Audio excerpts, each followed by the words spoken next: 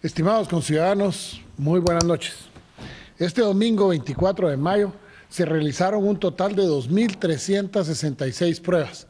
Cada día estamos superando la cantidad de pruebas realizadas. Y aquí quiero explicarles algo. Muchos se preguntan por qué hemos aumentado la cantidad de pruebas, por qué han aumentado la cantidad de casos. Y lo que se trata es de llegarle a hacerle la prueba a todas aquellas personas que hayan estado en el círculo de las personas contagiadas, es decir, tratando de llegar a la mayor cantidad de gente que tenga la posibilidad de haber desarrollado la enfermedad. Por eso es que vamos a ir viendo cómo se van incrementando, cómo llegará su momento en que iremos a bajar la cantidad de pruebas porque los casos principian a disminuir, como todos lo queremos. El día de hoy tenemos que reportar 370 casos nuevos, 200 hombres y 170 mujeres, tres personas fallecidas, dos pacientes en hospitales del Instituto Guatemalteco de Seguridad Social y uno en el Hospital de Villanueva. La tasa de mortalidad al día de hoy es del 1.69% en relación a la cantidad de personas contagiadas. Recuperamos 14 personas que el día de hoy estarán durmiendo ya con sus familias.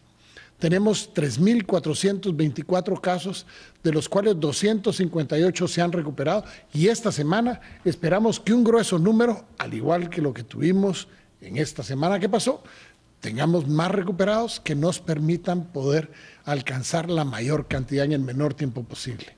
Y hemos lamentado el fallecimiento de 58 personas, es decir, tenemos 3.106 casos activos el total de las pruebas que hemos realizado al día de hoy son de 31.427 pruebas, es decir, 1.746 por cada millón de habitantes. Si los casos siguen en aumento, nos vamos a ver en la necesidad de cerrar el país por 15 días, incluyendo la industria. Porque no podemos permitir de que vayamos creciendo en los casos sin restringir aún más la posibilidad de contagio. Pero para que eso no se dé, necesitamos la colaboración de todos. Combatir esta enfermedad es responsabilidad de todos los ciudadanos de este país. Nosotros hemos hecho todo lo que está en nuestras manos y estuvimos y hemos trabajado el confinamiento, hemos trabajado la contención lo más que pudimos para que el momento en que esto, recuérdense que yo les habla del coletazo que nos iba a entrar, nos entrara de la menor cantidad posible. Hemos llegado ya a 370 casos y si no nos tenemos cuidado podría ser 500, 600 diarios. Por lo tanto, la responsabilidad de nosotros es atender a las personas infectadas, es prevenir, también dictando las normas, pero al final la responsabilidad de cada quien de usar la mascarilla, de acatar las disposiciones presidenciales, pero además de eso, lavarse las manos, cuidar a las personas de la tercera edad, sobre todo aquellos que tienen problemas crónicos como diabetes, cardiopatías y enfermedades que tengan que ver con la presión arterial, obesidad, por ejemplo, también pueden ser más susceptibles que otra persona cualquiera. Mañana vamos a publicar en el diario oficial ya el acuerdo gubernativo que integra la Comisión contra el Coronavirus, que esperamos que esté en funcionamiento en esta semana que viene. El COVID-19 puso al desnudo a los mejores sistemas de salud del mundo.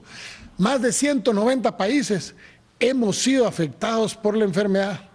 Por lo tanto, para que no colapse nuestro sistema, estoy hablando de salud pública, Necesitamos el acompañamiento de todos aquellos hospitales privados y entidades autónomas para que se rijan con un solo protocolo. No podemos venir y decirle a la gente, así es probable que tenga usted y le demos dentro de siete días el resultado. Tiene que ser lo más rápido posible. Pero para que la gente se vaya a un lugar en donde los podamos atender, podamos prevenir que vayan a, a morir por causa del coronavirus y disminuyamos hasta donde sea posible la posibilidad de más contagios. Por eso, esta semana le estamos pidiendo a todas las organizaciones que pertenecen al Consejo Nacional de Seguridad que lleven su listado de sugerencias, de recomendaciones para ir estableciendo los protocolos que nos aseguren que vamos a tener, como lo vamos a explicar más adelante, que ir pensando en el día después de este impacto de esta enfermedad. Algo que vale la pena que recomendemos también es que esta semana se nos viene, o ha sido anunciado, un sistema de baja presión que podría traer una cantidad importante de lluvias al país.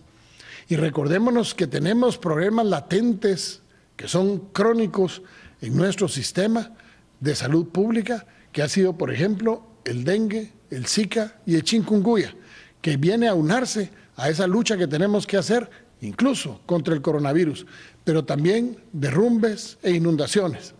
Sin embargo, tomando todas las previsiones, se han girado las órdenes a la CONRED, quien ya estableció los protocolos respectivos para la atención de quienes pudieran resultar víctimas de este sistema de baja presión y podamos responder lo más pronto posible para que los daños sean en la menor cuantía. Le recomendamos a todos, sinceramente, que principiemos a tener cuidado con tener agua, depósitos de agua llovida, en llantas, en barriles, entre la basura que muchas veces hay en la casa, en los techos, para que no se vaya a ver lugar en donde pueda estos zancudos poder reproducirse y generarnos más problemas de los que ya tenemos en salud pública. Pero no todo es negativo, también hay cosas buenas. Este, al día de hoy hemos alcanzado 538.979 personas que ya se inscribieron en el bono familia. Eso al día de hoy.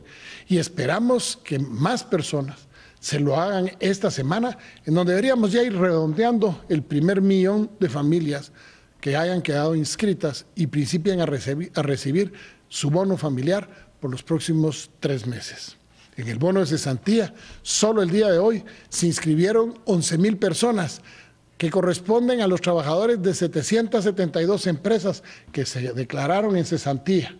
Les recordamos que pueden entrar a inscribir a sus empresas para que sus trabajadores se vean beneficiados con ese bono de cesantía en las direcciones que aparecen aquí, mineco.gov.gt, mintrabajo.gov.gt y suspensiones.gov.gt. Con respecto a las disposiciones presidenciales, mantenemos exactamente las mismas que tuvimos esta semana la libre locomoción con restricción de traslado de un departamento a otro se mantiene de las 5 de la mañana a las 5 de la tarde, de lunes a viernes. El toque de queda del viernes a las 5 de la tarde termina el lunes a las 5 de la mañana. Hagamos el esfuerzo, hagamos el esfuerzo de luchar porque logremos derrotar esta enfermedad. Les decía antes la responsabilidad de todos. Si nosotros rompemos el círculo de contagio y no hay traslado de persona a persona, el virus va a decaer, va a perder su viralidad y vamos a tener menos casos. Pero pensemos en algo. Ahora estamos enfrentando la crisis del coronavirus, pero no debemos olvidar que la responsabilidad de proteger la vida principia por la persona misma y de las personas que tiene a su alrededor y que son las que ama. Pero también no debemos dejar de pensar que tendremos que establecer lo que vamos a hacer para reactivar la economía con o sin coronavirus, porque no podemos mantener al país cerrado para siempre. Va a depender que nosotros venzamos y rompamos el ciclo de contagio. Que Dios les bendiga, pero especialmente que Dios bendiga a Guatemala.